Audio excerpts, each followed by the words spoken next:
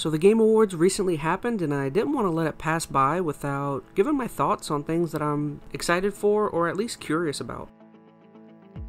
You'll notice here that I'm going to leave out all of the awards based stuff, mainly because that part of the show always seems to get the least amount of attention.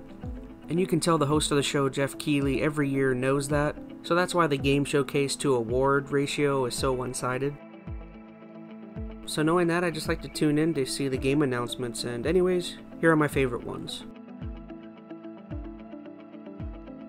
One of the first trailers that caught my eye was a game called Century Age of Ashes.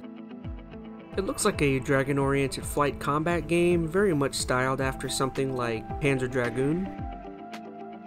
Now this game looks like it has a closed beta in January, and will have its full release sometime in 2021, so its full release doesn't look like it's very far away. One of my favorite announcements was actually a really cool trailer of Sephiroth joining the Super Smash Bros. game.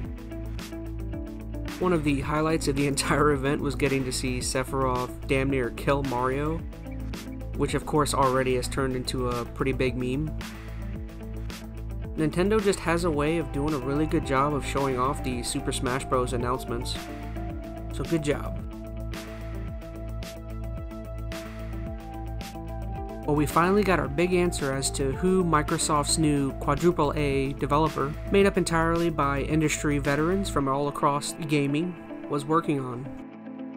They are developing a new Perfect Dark game, of which to me is almost like announcing a new IP because I've never played a Perfect Dark game. Now, of course, the first two Perfect Dark games were helmed by Rare, so that makes me super intrigued to see what the initiative can do with this IP. From the creators of Left 4 Dead, I was almost shocked to see the game Back 4 Blood. I saw there were a lot of people online that were upset that this wasn't Left 4 Dead 3, but with Valve owning that name, the creators kind of had no choice but to make a new game if they wanted to create something similar. I also saw there were some people that were upset that the game looked so identical to Left 4 Dead, but for me personally, that's kind of a positive, simply because I'm just looking for more Left 4 Dead, but that's just me.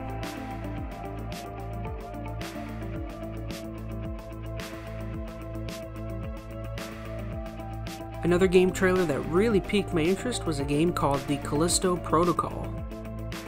It looks totally like a sci-fi horror game, of which that is totally my bag. Another cool fun fact about this game is the head of the developer company behind this game was formerly one of the co-founders of the Dead Space series, which is one of my all-time favorite horror survival franchises. This next trailer I'm not particularly excited for, I'm just wanted to bring it up because it's a series that I love. They showed another trailer for Dragon Age, I was thoroughly underwhelmed. I'm just not excited at all for Dragon Age, I mean, I really hope it's a great game, but it doesn't really help when Mark Darrah and Casey Hudson recently left BioWare again, so it just doesn't really seem like a great sign for things to come, but I really do hope it's a great game. Another game that really piqued my curiosity was a game called Crimson Desert.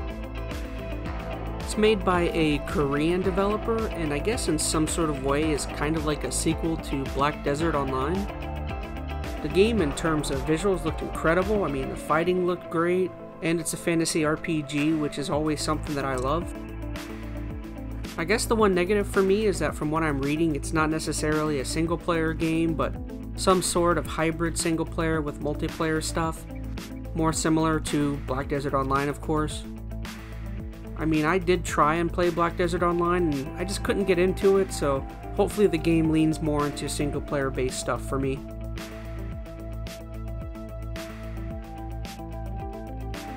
Something that I saw that I should not be this excited for is Evil Dead, the video game. Evil Dead is just my favorite horror movie series, so I can't help but get excited. Sounded like Bruce Campbell was in the game, which that alone makes me happy. Unfortunately, when looking at the publisher's recent track record, Saber Interactive doesn't really seem to recently have made anything incredible. But for me, Evil Dead is worth seeing if it's good or not, so we'll see what happens.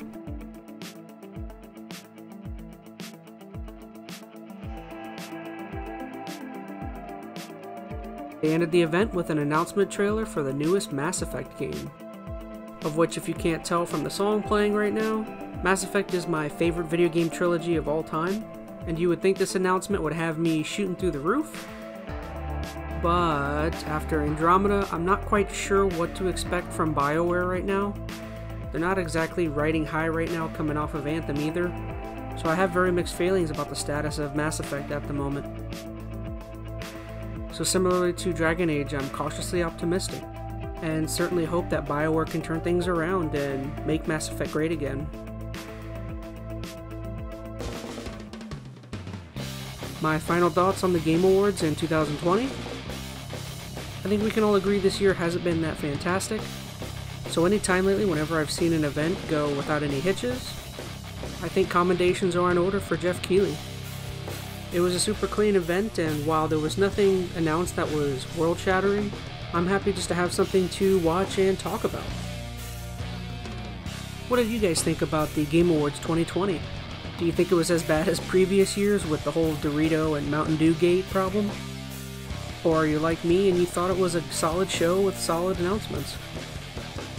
Did you guys like the games that I chose to talk about, and were there any that you felt like for you should have been in there? I'd love to hear back from you. Anyways, guys, like always, I just want to say thank you so much for watching. I love you. Please be safe. Happy holidays. And we will see each other once again on the next Enter Chazman. Bye, guys.